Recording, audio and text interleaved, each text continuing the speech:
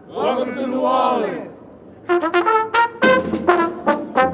Rock and rollers, welcome to New Orleans. It is our 11th year here in the Big Easy, and we are welcoming 13,000 of you for our Humana Rock and Roll New Orleans Marathon, Half Marathon, 10K, and 5K weekend.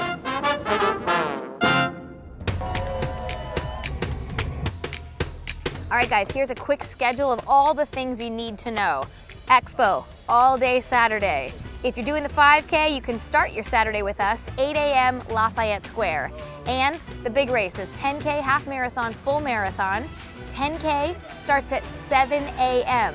Just 30 minutes later, a couple blocks around the corner, the half marathon and full marathon start. So if you've got people running the 10K, cheer them on, then head on over. We're gonna kick it off at 7.30, half marathon and full marathon. Whatever your distance, we're ready to party. Rock and rollers are coming from all over the world to enjoy the Big Easy this weekend.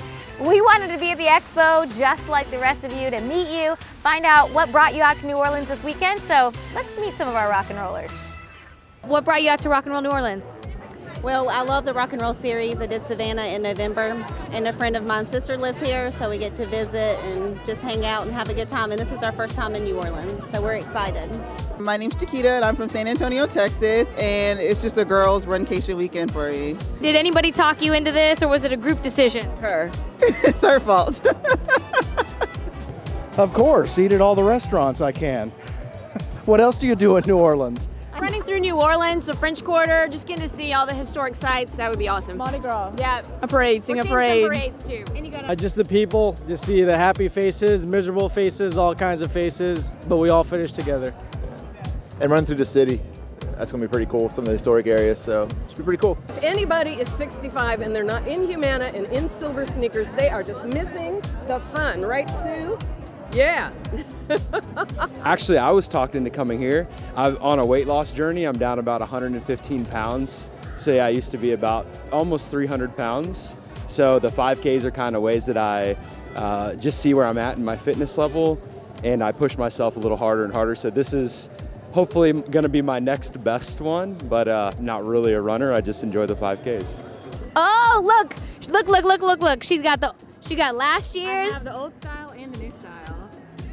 Very nice. Yeah. I mean, it's fun, and I definitely like to encourage my kids to be like fit and have fun while they're doing it. And they love coming to these kind of things and, you know, seeing their mama run and all that kind of stuff. So, all right, here's a little course preview for those of you running the streets of New Orleans.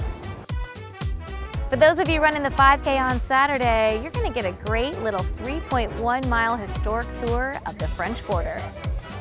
And for those of you rocking on Sunday, 10K half marathon or full marathon, you are going to fill the streets of New Orleans accompanied with the sounds of music. Popular local bands are stationed along the way. You're going to wander around downtown and finish at City Park.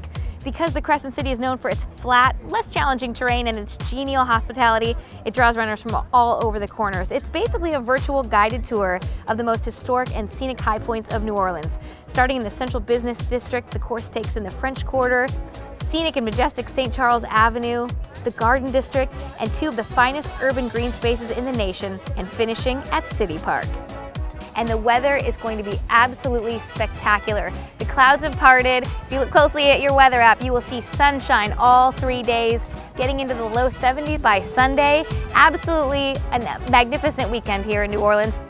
And I'm pretty sure that the line outside Cafe Du Monde right now is chock full of runners, making sure they get their weekend off on a sweet note. So if you can't be in New Orleans this weekend, I've got good news.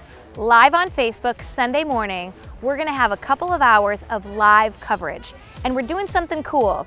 We've got a team competition. We're calling it the Rock and Roll North America Team Distance Project. Teams of four can compete on both the male and female side, and it's gonna have cross-country style scoring. The top three runners on the team score.